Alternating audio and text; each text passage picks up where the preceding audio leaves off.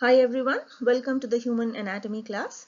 This is the first lecture on topic 6, muscular system. The main function of muscles in human body is to provide movement. There are three types of muscles, skeletal muscle, smooth muscle and cardiac muscle. This table is comparing the three types of muscles. Body location, the skeletal muscles are attached to the bones Cardiac muscles are present in the heart wall, while smooth muscles are present in the walls of the hollow organs.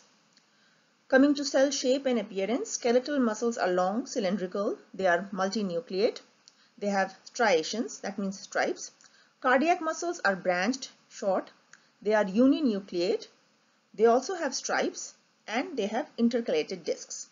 Smooth muscles are spindle shaped, they are uninucleate, there are no striations. The third characteristic is what are the connective tissue coverings. Skeletal muscle has endomysium, perimysium and epimysium. We will learn about this in subsequent slides. Cardiac muscle only has endomysium. Smooth also has endomysium. Control of contraction. Skeletal muscles are voluntary. That means they are under your conscious control. Cardiac and smooth muscles are involuntary. What about the speed of contraction? Skeletal muscles can contract slowly or very fast. Cardiac muscle contraction is slow. Smooth muscle contraction is really slow. The most important characteristic of muscles is their ability to contract and relax. There are certain prefixes commonly used with uh, in association to muscular tissue. Those prefixes are myo and mys, which refer to muscle, while sarco, such as sarcolemma, sarcoplasm, refers to flesh. Smooth muscles are spindle-shaped, uninucleate, and lack striations. Skeletal muscles are branched with intercalated discs. They are uninucleated, striated, and they are involuntary. Skeletal muscles are cylindrical, they are multinucleate, they are attached to the bones by means of special connective tissue called ten tendons. They are voluntary, that means they are under your conscious control. The main function of skeletal muscles is to uh, produce movement. Additionally, skeletal muscles also help in maintaining posture. They help in stabilizing the bone joints, articulations, and if the body is getting cold, then the muscles help in generating heat. That's why you start shivering when you're cold. Skeletal muscles are able to contract and relax because of these following four uh, properties. First one is excitability. That means that skeletal muscles are able to receive a stimulus, that means a trigger or a signal, and they can respond to that signal. Second is contractility, that is their ability to shorten after the stimulus has been received. Third is extensibility, that means the ability of the muscles to stretch after shortening. And the last one is elasticity, which is the ability of the muscles to recoil and resume. So that means they can shorten and then again extend. So these are the four properties that help the muscles to contract and relax. Connective tissue coverings of the skeletal muscles. One skeletal muscle is known as a muscle fiber. So a single muscle fiber is enclosed by a membrane. That membrane is known as endomysium.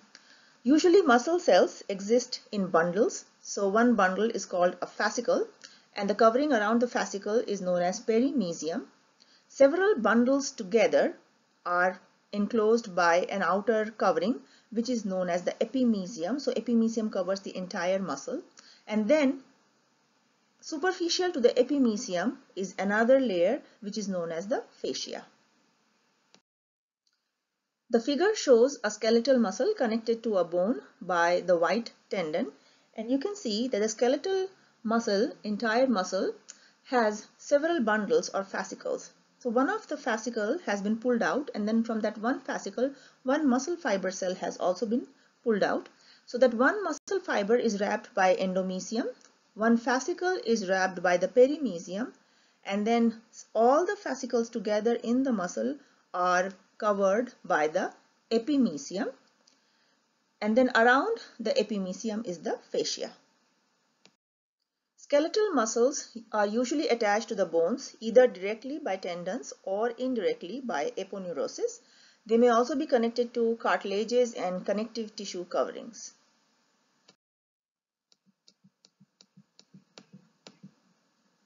Skeletal muscle has different levels of organization. One skeletal muscle is formed of many bundles. Those bundles are known as fascicles.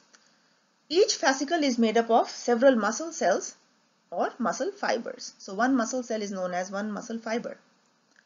One muscle fiber has specialized organelles inside the cell which are known as myofibrils. Myofibrils are like thin threads. The myofibrils in turn are made up of special units which can contract. So those are contractile units called sarcomeres. And the sarcomeres in turn are made up of very very thin thread-like structures which are known as myofilaments primarily the actin and myosin filaments. This slide describes the microscopic anatomy of a skeletal muscle cell.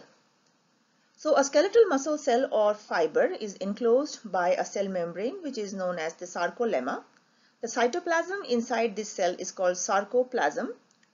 The sarcoplasm is filled with different types of organelles such as multiple nuclei, mitochondria, and there are also long rod-like organelles called myofibrils, which is shown in the figure here. And there's a special type of smooth endoplasmic reticulum known as sarcoplasmic reticulum. The function of this sarcoplasmic reticulum is to store and release calcium ions. Myofibrils are made up of contractile units called sarcomeres and the sarcomeres are arranged horizontally along the length of the myofibril. There are also special transverse tubules or T-tubules which are formed by side-to-side -side extensions of the sarcolemma and these T-tubules help in carrying action potential from the sarcolemma deep inside the cell. What is a sarcomere? A sarcomere is defined as the smallest contractile unit of a muscle fiber which is located between two neighboring Z lines or Z disks. Sarcomeres are made up of very thin thread-like structures called myofilaments.